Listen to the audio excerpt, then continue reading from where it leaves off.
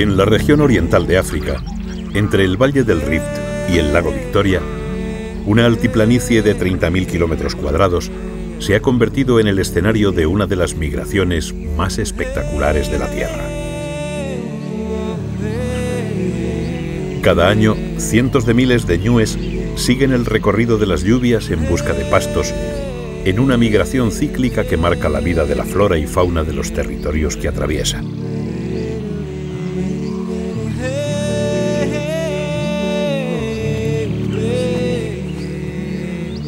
En 1951, el gobierno de Tanzania, consciente de la importancia de este acontecimiento, decidía proteger 17.000 kilómetros cuadrados de este territorio.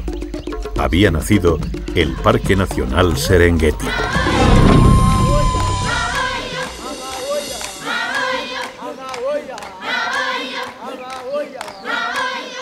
El Parque Nacional Serengeti está formado por una extensa sabana de hierbas xerófitas y zonas irregulares de árboles y arbustos. La variación estacional, tanto de las lluvias como de las poblaciones de ñues, cebras y gacelas, ha creado una vegetación específica muy resistente al pastoreo y capaz en algunos casos de brotar una hora después de que caiga el primer chubasco.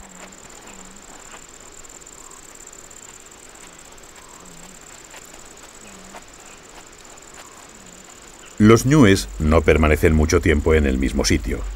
Su enorme población agota pronto las existencias de pastos y deben moverse seguidos por otros herbívoros que también comparten su dieta. Cada año recorren aproximadamente 3.000 kilómetros en una peregrinación constante que les lleva más allá de los límites del parque, atravesando la frontera con Kenia para llegar al territorio de Masai Mara.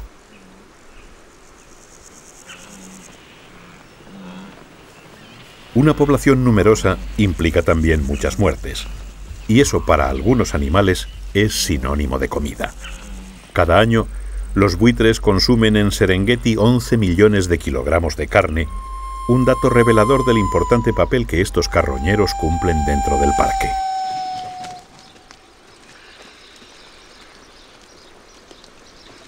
Una cebra muerta está siendo devorada por los buitres.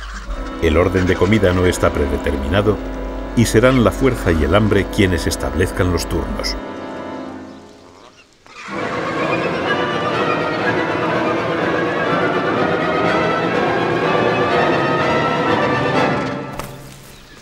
Continuamente se incorporan nuevos individuos que han observado el descenso de sus congéneres desde el cielo. Basta un solo buitre que descubra el cadáver para que cientos de ellos acaben congregándose a su alrededor. En Serengeti conviven seis especies de buitres. El torgo y el de cabeza blanca, que además de carroñeros son predadores, ingieren los músculos y tejidos duros gracias a sus poderosos picos. De este modo le abren el camino al buitre de espalda blanca y al ripel, que con sus largos y pelados cuellos llegarán a las vísceras. Por último, el encapuchado y el alimoche limpiarán los despojos que dejen sus parientes por el suelo o en el cadáver.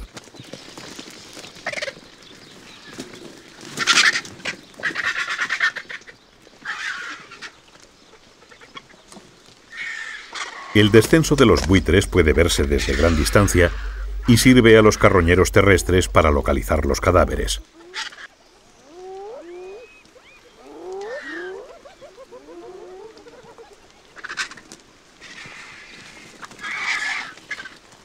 La fuerza de las hienas disuade a los buitres de cualquier intento de disputarles la comida.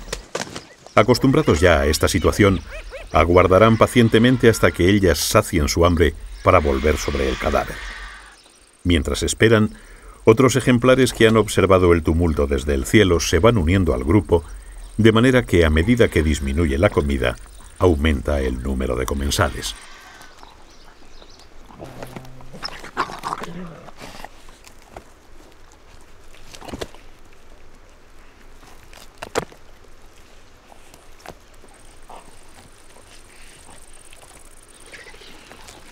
La espera se hace eterna, pero nadie se mueve.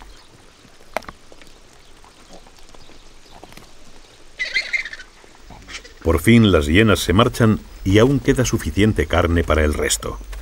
Los buitres se lanzan de nuevo sobre la cebra y en un instante el cuerpo inerte vuelve a desaparecer en un mar de plumas, garras y picos.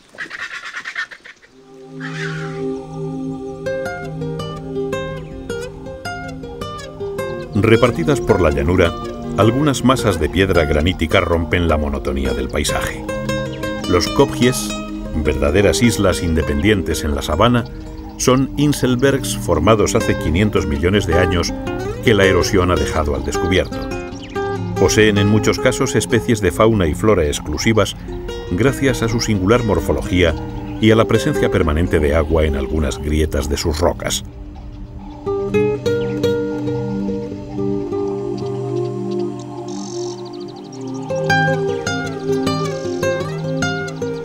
Al adentrarse en ellos se pueden observar especies que no se veían en las llanuras abiertas, como el redunca o el antílope más pequeño del mundo, el dik-dik, del tamaño de un gato doméstico.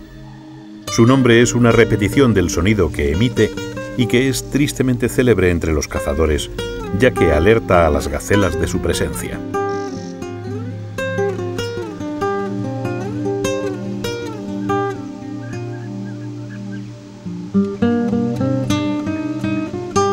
La desnuda superficie de la roca es el lugar de reunión de los lagartos agama.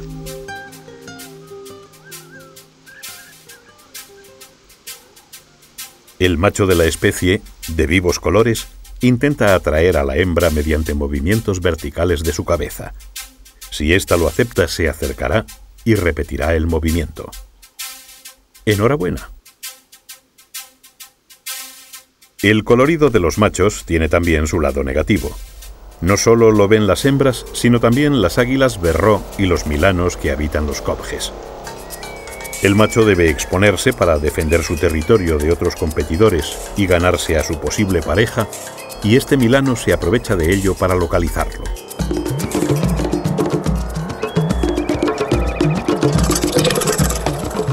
Las hembras ven el peligro pero el galán parece demasiado concentrado en su exhibición y no se da cuenta hasta el último momento.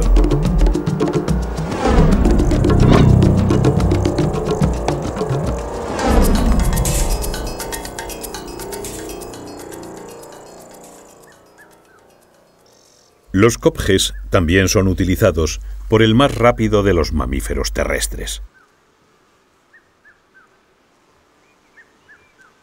El guepardo capaz de alcanzar en sus cacerías los 110 kilómetros por hora, queda exhausto tras cada carrera, por lo que debe elegir muy bien a sus presas para errar el menor número de veces posible.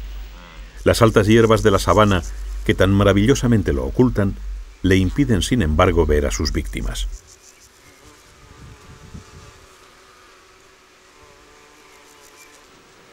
Desde un punto de mira más elevado, este obstáculo se supera y las presas pueden ser observadas sin dificultad.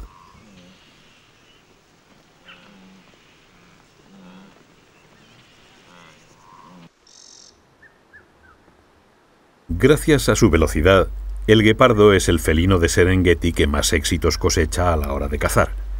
A cambio de esta ventaja, la naturaleza le ha privado de la fuerza necesaria para disputar sus presas a leones o hienas que siempre que tienen oportunidad le arrebatan la comida. El 90% de su dieta la compone este herbívoro, la gacela Thompson. Tanto es así que el guepardo no duda en seguirla en sus migraciones anuales y allí donde va ella, va también su perseguidor.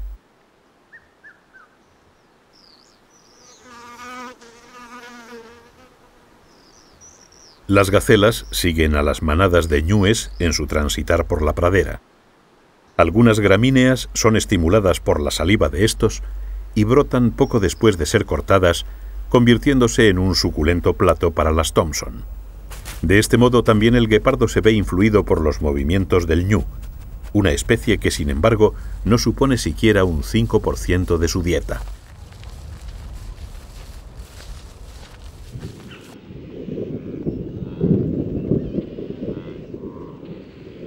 Si el desplazamiento de los ñúes marca la vida en el Serengeti, es el ciclo de la lluvia el responsable último de la migración. Entre noviembre y diciembre, Los vientos húmedos de oeste traen del Índico la ansiada lluvia. Las hierbas de la sabana, que durante la estación seca habían ralentizado todas sus funciones, absorben el agua con avidez y brotan en una explosión de actividad que transforma en pocos días el paisaje del Parque Nacional.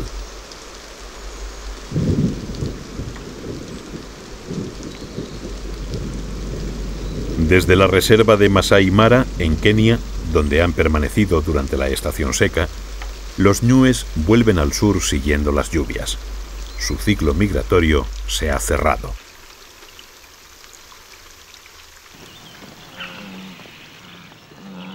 Año tras año, filas interminables de ñúes han repetido este recorrido por las mismas sendas hasta convertirlas en surcos que atraviesan la sabana primero hacia el lago Victoria por el corredor occidental a finales de abril. Las lluvias habían comenzado a abandonar la vertiente de Iasi y los ñúes fueron tras ellas. Agosto los llevó hasta la reserva de Masai Mara, en Kenia. Cruzar el río Mara supuso como todos los años la muerte de cientos de congéneres ahogados en sus aguas, pero la gran mayoría alcanzó la orilla norte y tras cuatro meses de desplazamientos pudo disfrutar de un merecido descanso.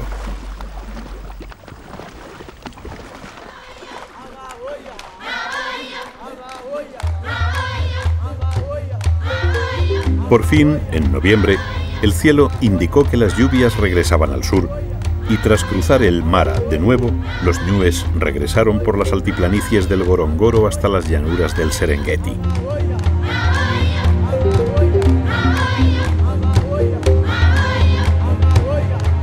En esas fechas, las praderas recuperan su esplendor. Las lluvias empapan el suelo y la hierba brota casi instantáneamente, transformando el paisaje en un mar verde y nutritivo.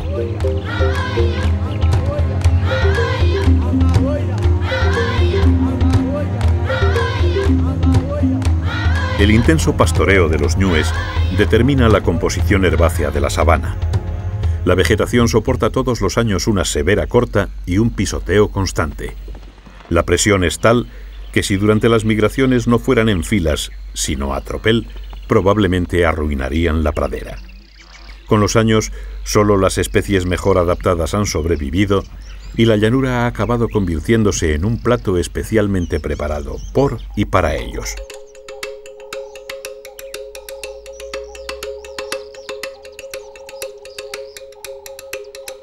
En la región septentrional del Serengeti, el paisaje cambia.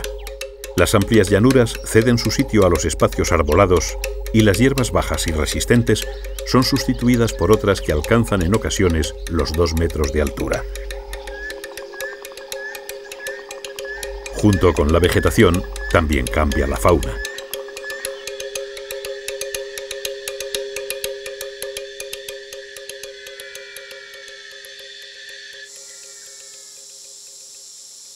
Un leopardo.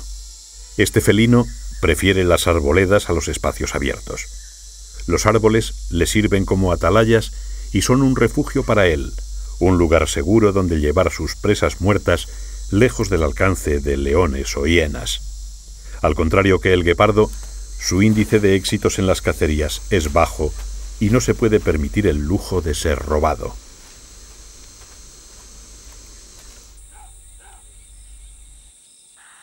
Junto a la jirafa y al leopardo conviven otras especies que también prefieren este paisaje a la sabana abierta. Entre ellas destaca un increíble animal que encuentra en las hojas de los árboles su fuente de alimentación, el damán.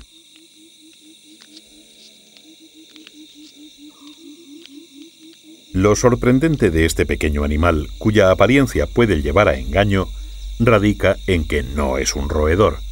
De todos los animales que habitan el Serengeti, su pariente más cercano es, por paradójico que parezca, el elefante.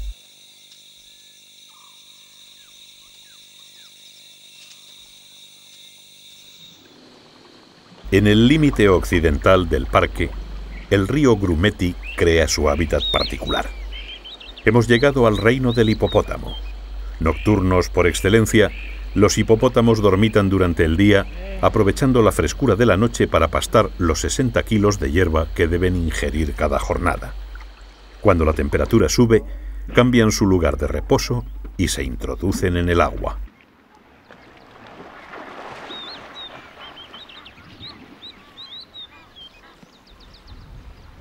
A pesar de su aspecto, la piel de los hipopótamos es muy sensible al sol. Por eso, cuando no están sumergidos, tienen que tomar baños de barro que los protejan de sus rayos.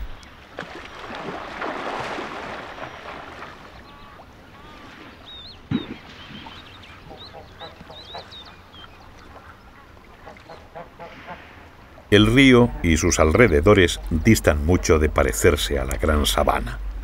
Aquí no escasea ni el agua ni la comida, y sus moradores no necesitan emigrar en busca de tierras mejores.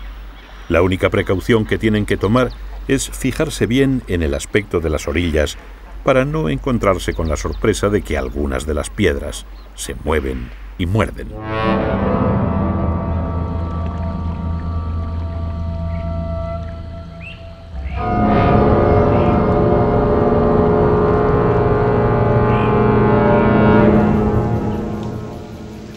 Por ahora, tampoco en la sabana están muy preocupados por la sequía. Nos encontramos dentro de la temporada de lluvias. Hay suficiente agua y los pastos abundan. Todavía no es época de pensar en emigrar. En estas fechas, el interés se centra en otra actividad totalmente diferente, la reproducción.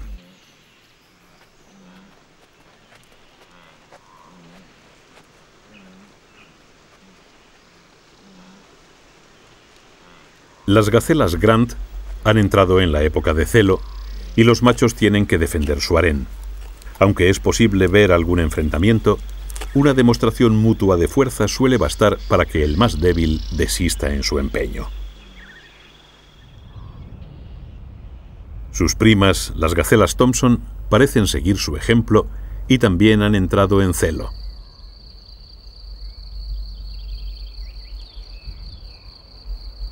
En poco tiempo la pradera se ha llenado de machos midiendo sus fuerzas y parejas realizando el cortejo. Y no son solo las gacelas. Con las parejas concentradas en sus quehaceres sexuales, la vigilancia queda algo descuidada y esta es una buena noticia para los carnívoros.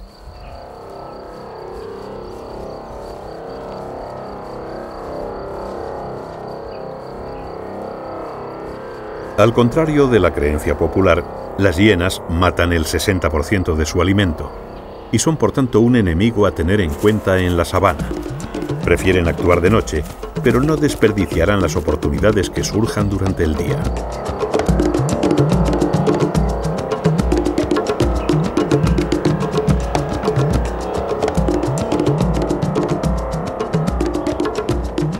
Una gacela Thompson ha caído. Mientras la hiena se alimenta, un buitre torgo, fiel a la costumbre, espera pacientemente su turno para comer. Esta vez no habrá opción. La hiena está criando y carga con la presa para llevársela a sus crías.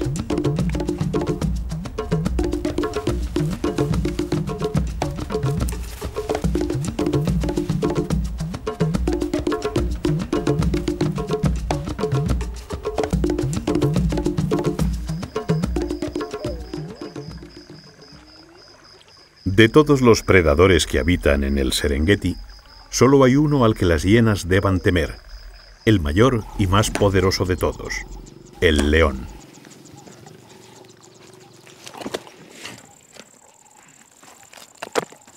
El robo de comida es algo usual en Serengeti. Los leones roban a las hienas, las hienas a los guepardos. Los leopardos deben subir sus presas a los árboles para que no les roben.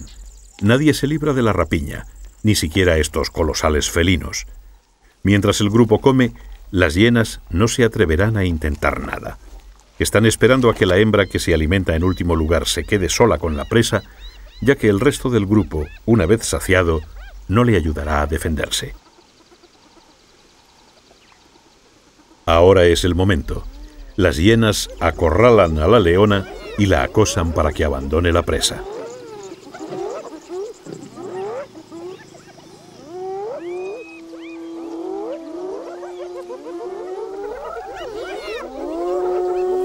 La hembra tendrá que renunciar al cadáver sin resistencia.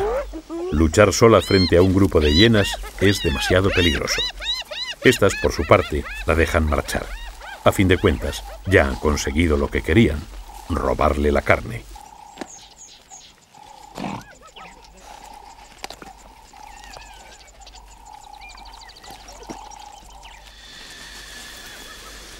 De nuevo, parte de la pieza se lleva al cubil, donde la prole espera ansiosa la llegada de la comida.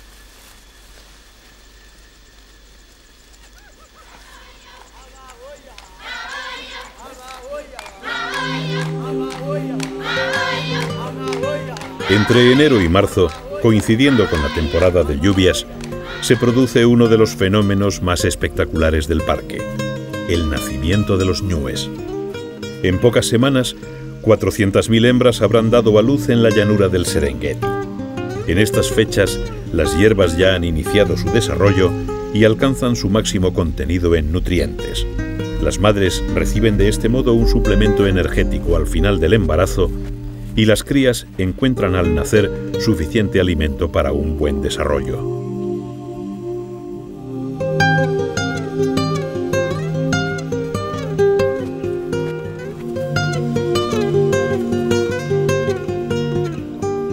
Los partos tienen lugar a partir de media mañana, coincidiendo con el periodo de descanso de los predadores. Cuanto más tarde nazcan las crías, menos tiempo tendrán para coger fuerzas antes de que los leones vuelvan a cazar al atardecer. Esta urgencia ha hecho de los ñúes los ungulados que más rápido aprenden a coordinar sus movimientos. En cinco minutos, las crías son capaces de ponerse en pie y en pocas horas pueden seguir a sus madres por la sabana.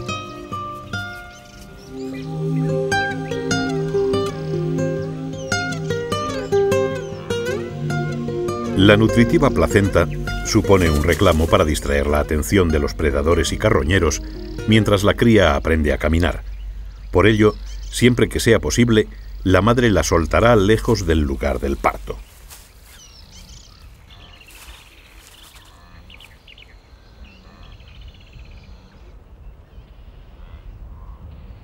Los carroñeros no dudan en atender al reclamo. Las placentas son muy nutritivas y no están defendidas por ninguna madre. En poco tiempo cada una de ellas se llena de buitres, chacales y algún que otro marabú.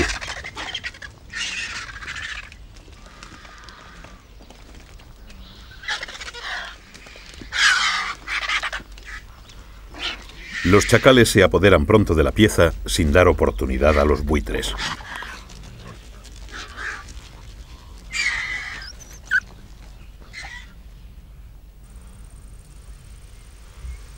Esta hembra está a punto de parir. La presencia de chacales en los alrededores no es peligrosa en una situación normal, pero durante el parto su capacidad de defensa es mínima y esto la vuelve más recelosa.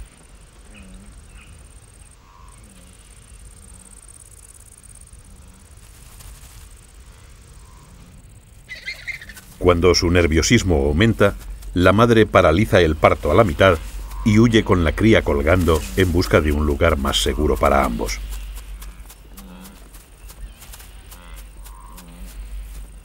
El chacal, ajeno al problema, ha encontrado lo que buscaba, una placenta.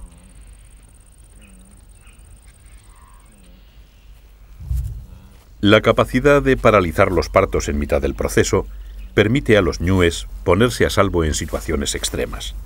Una vez lejos del peligro, la hembra termina de dar a luz.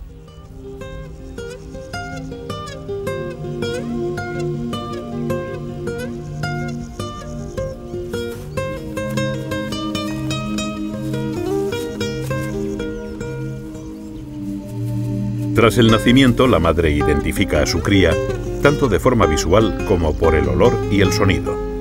Esta acción es fundamental. No es extraño que tras una estampida las crías se pierdan y las madres tengan que localizarlas, por lo que deben reconocer la llamada de su cría entre todos los demás sonidos de la manada.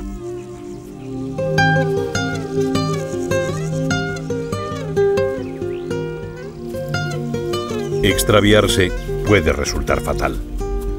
En una sociedad en que la muerte del hijo ajeno aumenta las posibilidades de supervivencia del propio, ninguna madre está dispuesta a cargar con un extraño. Si este ñu solitario no logra reencontrar a la suya, no sobrevivirá. O quedará descolgado del grupo, o recibirá una coz de un adulto que lo matará. Como él, otros jóvenes quedarán en el camino, pero la inmensa mayoría sobrevivirá y partirá hacia el norte para iniciar, una vez más, la interminable migración de los ñúes. El ciclo que todavía hoy marca la vida en el Parque Nacional Serengeti.